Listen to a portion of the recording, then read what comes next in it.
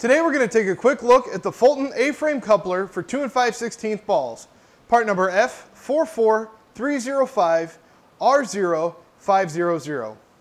Now Fulton covers this coupler with a limited 3-year warranty, and it has a gross trailer weight capacity of 10,000 pounds. Again, it's designed to be used with trailer balls that measure 2 and 5 16 inches. This coupler comes unfinished, so you can paint it or finish to suit whatever needs you have for your trailer. The latch mechanism works by pulling this release trigger on the bottom side of the latch and lifting the handle up.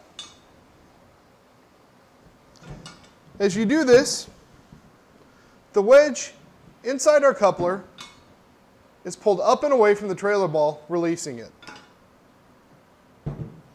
Now back up at the latch, we'll see there's a hole here that you can use a coupler lock to secure the latch and prevent it from opening while trailering the, down the road, but it'll also prevent theft. When you open the latch, the hole lines up with the cutouts in the top of the mount, so you can reinsert that pin and keep the ball open, or keep the jaw open, while you're hooking or unhooking your trailer.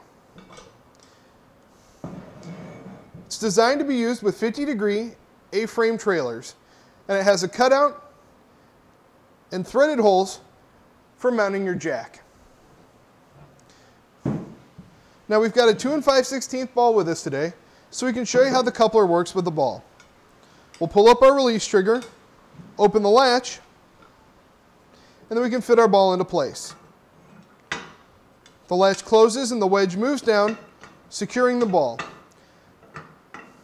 It allows free movement so the trailer will track nicely behind the vehicle, but it is captive and won't let the ball out. We'll lift up our latch, the wedge moves back, and we can remove the ball. And that's it for a quick look at the Fulton A-frame coupler for 2 and 5 16th balls, part number F44305R0500.